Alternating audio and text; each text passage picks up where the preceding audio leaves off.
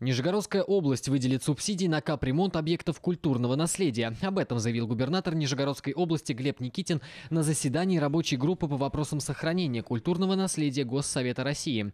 Одной из главных тем стал капитальный ремонт объектов культурного наследия, которые одновременно являются многоквартирными домами. На сегодня размер предельной стоимости капремонта общего имущества в многоквартирных домах значительно ниже фактической стоимости проведения работ.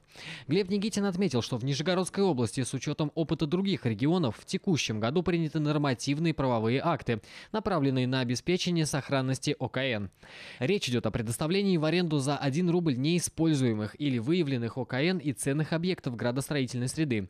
В свою очередь, один объект уже изъят у нерадивого собственника, еще два ОКН находятся в процессе изъятия.